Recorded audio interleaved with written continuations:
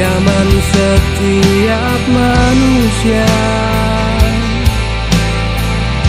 Namun ku yakin suatu saat ku akan mendapatkanmu.